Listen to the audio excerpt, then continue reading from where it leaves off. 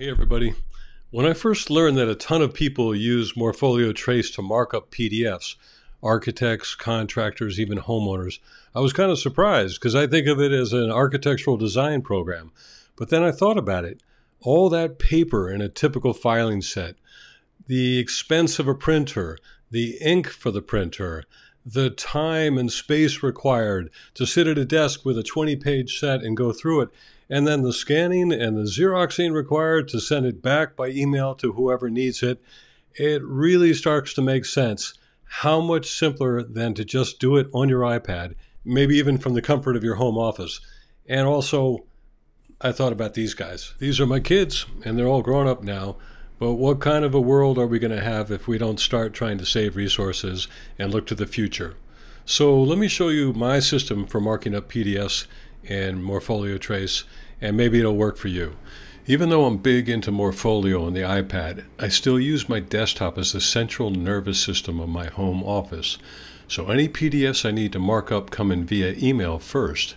Then I open them and either airdrop them to my iPad or export them directly to my iCloud Drive, which is the main way I get outside files onto my iPad anyway. I choose my iCloud Drive from the drop down menu, then hit Save, and that file goes out to my iCloud Drive, waiting for my iPad to come and get it. Once the PDF file is saved to my iCloud Drive, I launch Morpholio Trace, tap the PDF button, select iCloud Drive as the source of the file, find the PDF I want to import, then tap to load it into Morpholio. And boom, the PDF automatically loads into the Morpholio workspace as a new document, although only the top page of the multi-page PDF appears at first. I can then use two finger pinches to rotate it, shrink it, enlarge it, just like any other imported file. To see the other pages that I know are in this multi-page PDF, I tap the overlapping page PDF icon at the top left. This reveals the PDF gallery view where I can either scroll through the pages at full size or tap the multi-page gallery icon to scroll through smaller thumbnails of every page in the PDF. You can also tap on a single page, then use two fingers to expand and return to single page view and scroll through all the pages that way. Because I teach these apps in my UCLA class, I actually encourage my students to practice tapping these gallery view icons to go back and forth between single page view and multi page view and really get the muscle memory down. You may also want to practice your pinch and zoom moves, expanding any single thumbnail into a single page view by zooming in and stretching with two fingers. Once you've found the page you want, just tap the screen once and it will open that page in the Morpholio workspace. Now to get down to business. Morpholio has a large selection of brushes, but for typical redlining I select the felt tip pen, then select red of course. Then select a line weight that will be big enough to see when the drawing is in full sheet view, but not too fat that it looks bad when you zoom in. I think this middle one's going to do the trick. And of course, you can use the famous two finger tap to undo your actions, the same as always. Once I've got my pen chosen, I often use a four finger tap to hide the user interface and see the sheet in its full size. Then I'll use the standard pinch and zoom gesture to navigate around the drawing until I found the parts I want to redline. Another four finger tap brings the interface back, and I can reselect my pen and begin marking up the sheet. Again, keep in mind that the line weight you like when zoomed in may be too skinny to see when you zoom out, so choose your line weights wisely. With all this in mind, just begin redlining as if you were sitting at a 24 by 36 inch set of paper prints in your downtown office. Only we'll both know you're actually sitting in your family room with an iPad in your lap, sipping coffee, and wondering why you ever did this on paper. To view the whole sheet again at any time, just tap the layer icon on the right side of the screen and the sheet will return to full size. And practice doing that amazing four finger tap that hides the interface. Let's do that again. Four fingers, one tap, interface goes away. Once you're done marking up one sheet, tap the double page PDF icon at the top left and Morpholio returns you to the single sheet gallery view. You can now toggle back and forth between gallery view modes up here.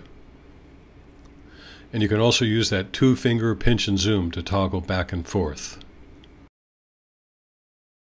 To get down to business again, just tap the page once and Morpholio will load that page into the markup workspace.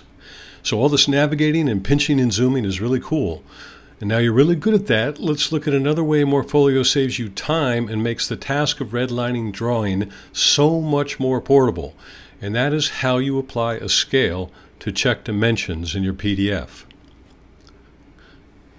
To apply scale to the drawing, tap the wrench icon at the top left, then tap Set Scale, then tap and drag the crosshairs of the scale tool to the endpoints of some known dimension, like this six foot wide opening I have here.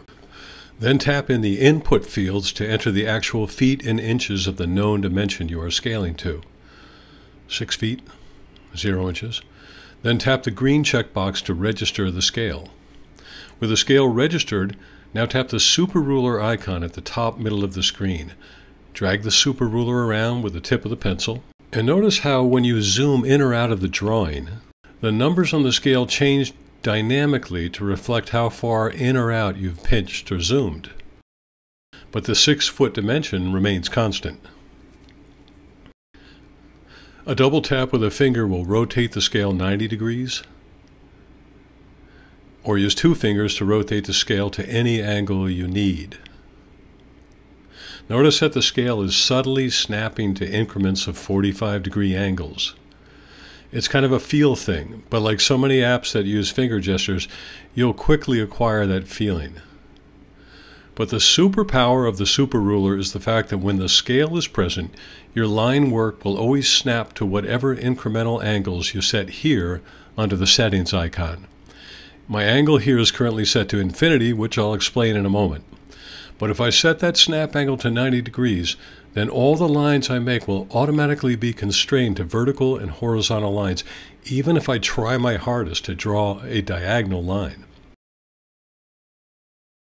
If I now reset the angle of snapping to 15 degree increments, then the lines I draw will be restricted to paths of 15 degree increments.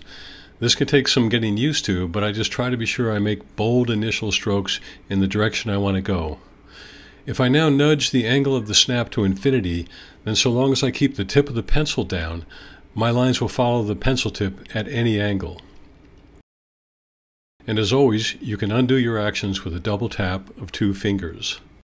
Anytime you'd like to go back to freehand sketching or freehand lettering, just tap the scale icon to remove the scale and your freehand ability will be restored.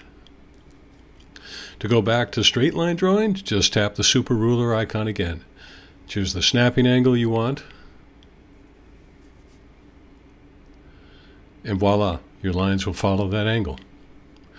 Tap the scale icon again to restore your ability to sketch and letter freehand. And once again, I use a two-finger tap to undo any actions. But I can also use the undo and redo arrows up here in the upper corner. Tap the left hand arrow to undo, and tap the right hand arrow to redo anything you mistakenly undo. Of course, the other way to undo something is to tap the eraser brush, select the eraser size you need, then brush away your mistakes as if they never happened. My sources tell me Morpholio is also working on an eraser for our real world lives, but that's not out yet.